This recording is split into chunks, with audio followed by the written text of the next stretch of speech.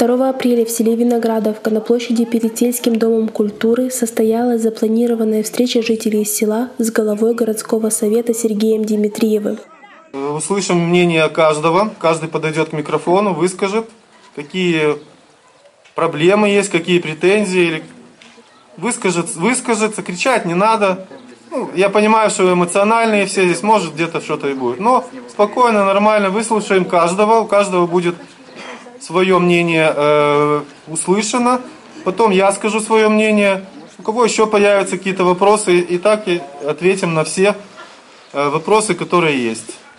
Встреча откладывалась трижды из-за болезни Сергея Гавриловича. Теперь же он захотел услышать все вопросы и ответить на них. Перед зданием установили микрофоны, и все желающие смогли высказать свое мнение. Главной причиной возмущения виноградовцев стала новость о решении Болградского горсовета выставить на земельные торги право на аренду земельных участков. Жителей интересовал один вопрос, почему часть пастбищ, предназначенные для выпаса скота, уже распаханы, кто имеет право ими пользоваться и где местным выпасать свой скот.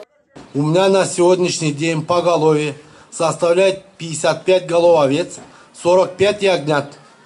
На сегодняшний день, так как у нас есть земли выпаса овец, выпаса скот, мы узнали, что эти земли хотят отдать в аренду. В связи с этим, если эти э, земли уйдут под аукцион или кому-то в карман, то мы останемся без куска хлеба. Это в первую очередь.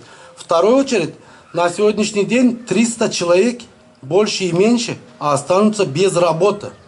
На сегодняшний день около 100 коров доится в нашем селе. А завтра, послезавтра нам надо будет вырезать этот скот, если вот эти пастбища мы на сегодняшний день потеряем. Нам такого не надо. Нам надо, чтобы были все пастбища, как они были до сих пор, как мы пасли.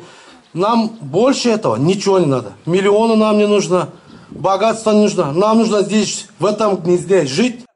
Дискуссия длилась более трех часов, порой эмоции перерастали в бурные и не всегда корректные высказывания. Вопрос выпаса скота очень важен для сельчан, ведь от этого зависит благосостояние их семей. В том, что часть пастбищ распахана, владельцы частных отар обвинили местное сельхозпредприятие «Колос», руководителем которого является Георгий Кочмар. Однако в противовес этому мнению была высказана и другая точка зрения, что сельхозпредприятие является крупнейшим плательщиком налогов и спонсором многих важных для села мероприятий. Отвечая на волнующий вопрос виноградовцев, Сергей Дмитриев отметил, что земля однозначно пройдет через процедуру аукциона, потому что это требование закона.